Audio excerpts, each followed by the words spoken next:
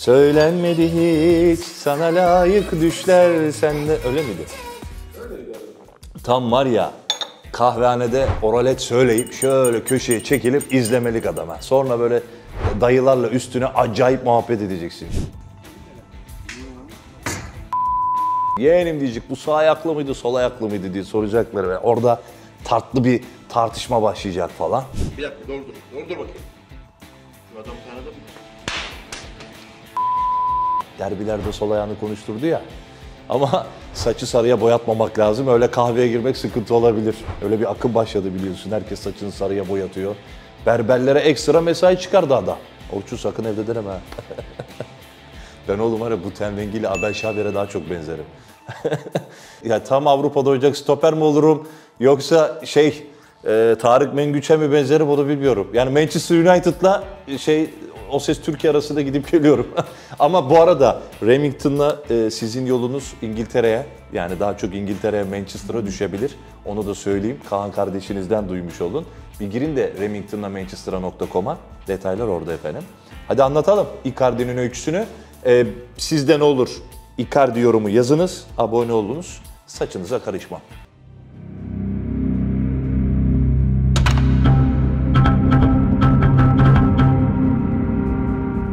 Güzel insanlar. Bir futbol sever olarak iyi ki gelmiş diyorum Icardi için. İyi ki Erden Timur o yoğun presi yapmış, görüntülü konuşmalarla ne yapmış, etmiş, getirmiş de golcünün hasıyla ligimiz renkleniyor. Bir de babasına teşekkür etmeliyiz galiba çünkü zorla topçu yapmış oğlunu. Normalde o kadar ilgilenmiyormuş küçükken. Oynuyormuş ama hani Inter yaparım, bir gün Paris'e giderim öyle hayalleri yokmuş. Babası demiş ki buna bak oğlum ben top oynadım fazla ileriye götüremedik işi görüyorsun demiş. İş güç sıkıntı diye kalktık. Te Arjantin'den elin İspanyalarına geldik. Tamam kasaplıktan başladık restoran müdürü de olduk şükür ama demiş çektiğimiz sıkıntıyı sen biliyorsun. Şimdi benim başarısız olduğum yerde sen başarmalısın demiş. Buna böyle mecbursun deyince anlaşmışlar da işte Las Palmas'ta bir kulübe yazdırmışlar Icardi'yi. Zaten 5 yaşındayken Arjantin'de bir kulübe yazdırdıkları için ufak da olsa bir altyapısı vardı. O yüzden de sağlam bir giriş yapıyor. Kaç? 6 senede 500'den fazla gol atıyor biliyor musun? Babasının bu nerede oynarsa oynasın her zaman gol attı demesi. Bakıyorsun şimdi oyuncunun da ısı haritasını inceledik geçmiş dönemlerde. Merkezde kalmayı çok seviyor. Kanatlarda konumlanıp daha farklı işler yapmaktan ziyade böyle merkezde ileri geri yapmak, pas bağlantılarına katılıp arka koşular yapmak falan favori işleri Icardi'nin. Ama artık o dönem ne olduysa yürümemiş araları. Neyse Altın her yerde altındır. Yani kaç senedir gözlerin pasını silip duruyor görüyorsunuz yani. Dünya onun kariyer okumasını kısmetse olur evi gibi değerlendirmeye alıştı ama atıyor, attırıyor ve yürüyor işte. Aslında Icardi yani parti çocuğu diyorlar ya saha içinde de dışında da bunu tanımlayan biri. Bizim buralarda pek sevmeyiz. Doğrusu bu yani. Arkadaşının aşkı meselelerini. Adamın gözünün içine baka baka nişanlısına asılıyor ya. Oğlum o senin yengen, yengen. Ama söylenecek her şeyi de vakti zamanında söylemiştik zaten. Başına da bir ton mesele geldi bu işlerde. Misal Arjantin milli takımına çağrılmama hikayesi. Çoğu insan Messi'nin kariyerini engellediğini söylüyor. Zamanında hocaları falan biraz yalanladılar bu durumu ama Pratto'yu alıp prime döneminde Icardi'nin çağrılmaması durumları falan hikayeydi yani. Çıktı o zaman Bauza dedi ki hoca oyuncuların istemediği doğru değil. Higuain ve Pratto'nun altında performansı dedi. Şimdi adama demezler mi? En çok gol atan 7. Arjantin'i nasıl oldu o zaman diye. Batistuta'lar, Maradona'lar onlarla aynı çerçeveye girdiler. Nasıl oldu o iş? Sorarlar. Messi ile aynı çerçeveye bilerek koymadı. Çünkü ne hikmetse Paris'e gitti Messi. Döndü geldi Icardi Galatasaray'a. Hem de ne kadar düşük maliyetleri değil mi? İnsan ister istemez o bit yeniğini arıyorsun yani Messi'nin tavrıyla ilgili. Ha, bugün iyi ki olmuş diyorsun. Son 50 yılda Inter'in en genç kaptan olmuş biri. Şimdi İstanbul'da takım arkadaşlarını yemeğe götürüyor. Yani işte Paris'te bu ellerini kulaklarına götürerek sevinen adam şimdi Türk seyircilerle yapıyor kutlamayı. Aidiyeti de yüksek adammış. Helal olsun.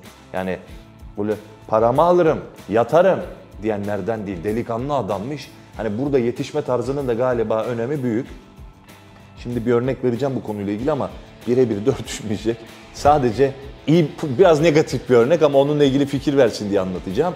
Ee, Vanda derbisinden alayım aslında dur. Ee, hani Maxi Lopez'e el sıkışma hikayesi var ya meşhur. Lopez sıkmadı falan. Sonra iç saha maçı tamam mı? Sassuolo'ya 3-1 yenildi Inter. 22 yaşında daha Icardi. Hafifletici sebep sayın diye ekliyorum. Ee, takımın tek golünü atıyor bu. Gidiyor sonra formayı çıkarıyor. Buradaki gibi göstermiyor zamanlar. Atıyor tribünlere. Ama ne oluyor sonra biliyor musun? Tribünler formayı geri fırlatıyor. Icardi'ye doğru. Bir anda kendinden geçiyor bu. Bırakın beni, bırakın beni nidaları. Hepiniz diyor utanmalısınız diyor. Hatta kendi sözü o an böyle diyor dünyanın sonu gelmiş gibi her şey başladı diyor. Sonrası asıl demek istediğim diyor ki olayla ilgili Icardi onlarla tek tek yüzleşmeye hazırım. Belki de en yüksek suç oranlarının ve insanların sokakta öldürüldüğü Güney Amerika mahallelerinden birinde büyüdüğümü bilmiyorlar diyor. Ve devam ediyor. Burası çok enteresan. Kaç kişiler diyor? 50 mi, 100 mü, 200 mü diyor. Tamam diyor, kameraya diyor. Mesajımı kaydet, duysunlar. Arjantin'den 100 suçlu getirip onları oracıkta öldüreceğim diyor. Atar atar, gider gider. Hmm. Dediğim gibi onayladığımdan anlatmıyorum. Zaten sonra savaş çıkar gibi oldu. Tribünler pankart astı. Şey yazıyordu. Icardi bir yalancı ve kaptanımızın bu kadar olay çıkaracak kadar kibirli olmamasını isteriz falan. Icardi saygının ne demek olduğunu bilmiyor düşünün. Çıkar o kaptanlık pazı bandını diyenler. Affedersiniz soytarı diyenler. Neler neler yani. Testere Necmi'nin dediği gibi bir kadın sevdim tüm dünya bana düşman oldu hesabı. Maradona'dan bile zılgıt yemişliği var. Sonra dikiş tutmadı zaten 13 milyona gelmişti. Attı da bayağı gol. Kaçtı dur bakayım? 219 maç. Kopya çekeyim. 124 gol atmış. Yani Allah'tan dikiş tutmadı dedim ben. Adam Serie A'da altın ayakkabı bile kazandı oysa değil mi? Yani zaten golcülük verisi dedim miydi? Icardi abi bunu anlatmıştık ki 2019-2020 nerede benim telefonum? Semih Durası vermişti bana onları da.